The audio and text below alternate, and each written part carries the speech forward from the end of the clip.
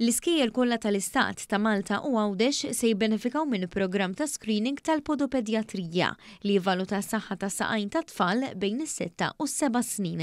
Dan sar wara li kien introdott proġett pilota bl-inizjattiva f'numru ta' skejjel, bil-għan li tivvaluta s-saħħa tas-saqajn minn kmieni.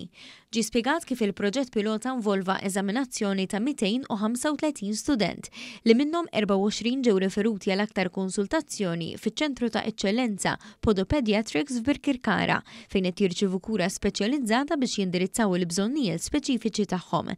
Il-Ministru għas-Saħħa Joe Etienne Abela spjega li l-kura tas-saqajn minn età żgħira hija importanti ħafna għaliex timpatta lill-persuna aktar ma tikber fl-età.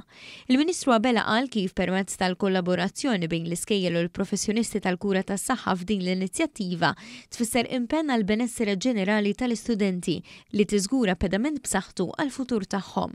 Din hija kura importanti immens li imbagħad ħa tkun timpatta fuq il-persuna meta tkompli tikber u ssir adulta.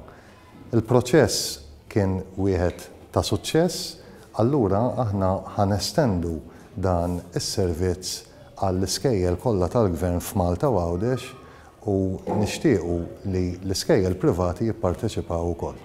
Min-naħa tiegħu, il-Ministru għall-Edukazzjoni Clifton Grima qal li kollaborazzjonijiet bejn Ministeri u entitajiet governattivi qed iwasslu biex itejbu l-benessere tal-istudenti fl-iskejjel. Il-benesseri huwa ċentrali fis-sistema edukattiva tagħna u allura qegħdin proprju naħdmu sabiex nassiguraw illi l-benesseri anka fiżiku jkun milħuq u assigurat fit-tfal tagħna.